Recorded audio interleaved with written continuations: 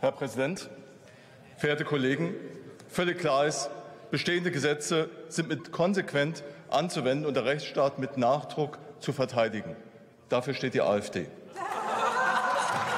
Nur linke Hetzplattformen wie Indymedia bleiben heute unangetastet. Und es versagt der Staat und auch zum Entsetzen vieler Bürger draußen, auch bei der Bekämpfung zum Beispiel von kriminellen Ausländern, Alamiri, wo der Staat völlig versagt bei der Ausweisung, oder des Unwillen des Staates, seine Grenzen zu schützen. Währenddessen haben hier etliche der Redner Hate Speech im wahrsten Sinne des Wortes auf ihren Lippen. Am meisten aber erstaunt die Ruhe, mit der einschneidende rechtliche Änderungen von der Gesellschaft, von Medien und Politik quittiert werden.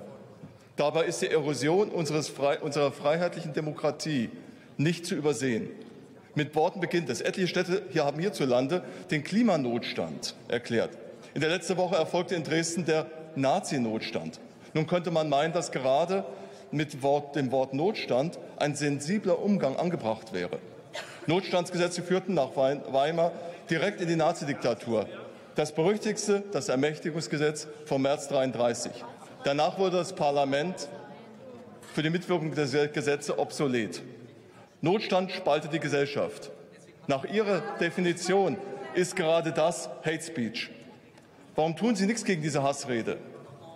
Na klar, Sie nutzen die von Mitte bis ganz links. Und in den demokratischen Ländern bedeutet Notstand in der Regelung die Verkürzung des Rechtsschutzes gegen staatliche Maßnahmen. Wir ahnen, was hier vorbereitet wird.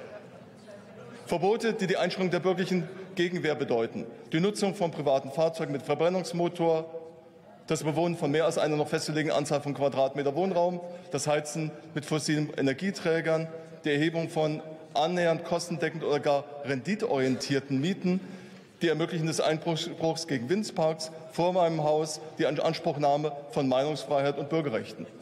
Und all das und noch viel mehr kann unter Umständen wegfallen. Natürlich nur alles im Sinne einer guten Sache, die ebenso natürlich von links definiert wird. Wer dagegen spricht, spricht Hassrede. Bislang landet er dann auf der Medienmeldeplattform eines Herrn Böhmermann. Doch jetzt hat Herr Haldewang den TV-Clown Böhmermann abgelöst. Durch den Bundesverfassungsschutz wurde eine staatliche Melde- und Denunziationshotline eingerichtet. Dort erfolgt wie zu finstersten Zeiten die Bürgerbespitzelung.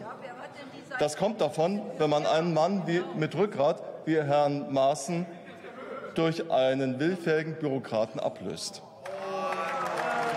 Der Tatbestand Hassrede ist bewusst unbestimmt gehalten, weil man erkannt hat, mit dem Vorwurf der Verleumdung, über Nachrede, Beleidigung oder Volksverhetzung ist dem freien Denken und Argumentieren der Bürger nicht beizukommen.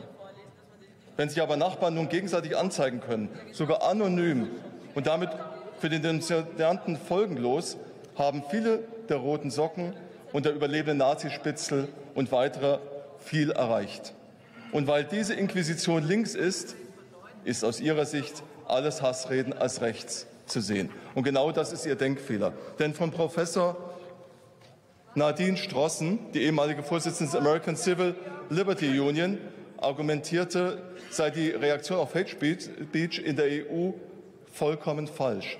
Und ich zitiere hier, egal wie gut gemeint, in der Praxis ist das Verbot von Hate Speech bestenfalls wirkungslos, im schlimmsten Fall kontraproduktiv. Frau Strossen erklärt, Hass ist eine Emotion. Es gibt kein allgemeingültiges Konzept der Hate Speech. Und weiter, in, westlichen, in der westlichen Welt wir, erscheint der grundlegende Zusammenhang zwischen Meinungsfreiheit und allen anderen Freiheiten in der Gesellschaft vergessen worden zu sein. Weg mit der Redefreiheit bedeutet weg mit der freien Gesellschaft. Und das ist definitiv nicht im Sinne der Bürger. Und dagegen wenden wir uns als AfD. Im Übrigen, ich kann nur sagen, die Herren Lindner und de Maizière haben ja bereits Erfahrung mit, was passiert, wenn man die Büchse Pandora den Linken überlässt. Hate Speech ist im Übrigen ein politischer Begriff und kein juristischer. Dementsprechend ist die Definition politisch beliebig. Und es geht Ihnen hier um ein Machtmittel, um nicht mehr. Denn ansonsten würden Sie gegen, und ich zitiere hier wiederum, in dem Falle Hate Speech wie Faschist, Pack, Ratten oder aber Nazi-Drecksau oder aber was auch den liebe eine Kollegin von den Grünen passiert ist, Drecksvorzüge in dem Fall auch anders einschreiten.